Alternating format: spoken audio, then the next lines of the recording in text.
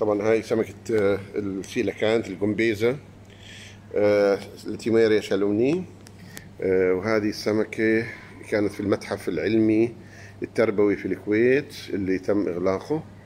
ونقلوها زي ما أنتم شايفين نقلوها لهون هذه سمكة طبعا بتعيش في منطقة جزر القمر. هذه المنطقة هذه العينة كانت هدية لحضرة صاحب السمو كان اللي هو الشيخ صباح الأحمد الصباح.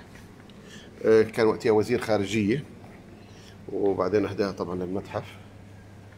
وهذه طبعا هذه السمكة زي ما أنتم شايفينها انتقلت من المتحف العلمي التربوي إلى مركز الشيخ سعد العبد الله الشيخ سعد العبد الله الثقافي.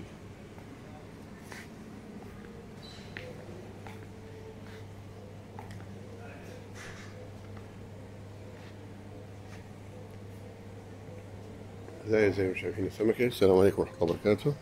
هاي نورة. اللي هي كانت رفيقتي دائما في مع الجمبيزة. هي إحنا هون.